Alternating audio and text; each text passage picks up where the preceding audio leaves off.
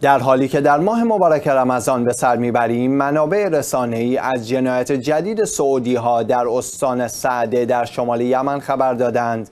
به گفته این منابع منطقه الرقو در ناحیه منبع در استان سعده در شمال یمن هدف حمله ارتش عربستان سعودی قرار گرفت.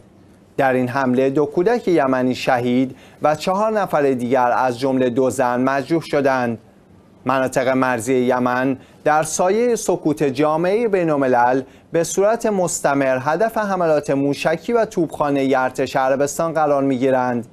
عربستان سعودی در رأس یک اطلاف عربی از ششم فروردین 1394 با ادعای تلاش برای بازگرداندن عبد منصور هادی رئیس جمهور مستعفی یمن به قدرت اقدام به حمله نظامی علیه یمن و محاصره زمینی، هوایی و دریایی این کشور کرد.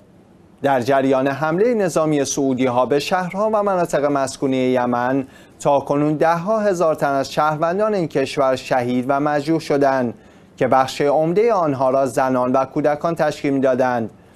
تجاوز نظامی عربستان به یمن با آواره شدن میلیون ها یمنی به بار آمدن خرابی برای زیرساختهای این کشور گسترش قحطی گرسنگی و بیماریهای واگیردار در یمن همراه بوده است.